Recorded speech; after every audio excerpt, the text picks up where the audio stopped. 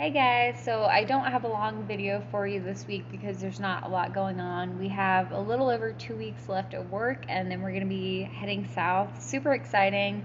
And our friends Wayne and Sherry from Forever Free RV should be here in like a week, a week and a half. So that's even more exciting. Uh, tomorrow I have a consultation with our gastroenterologist.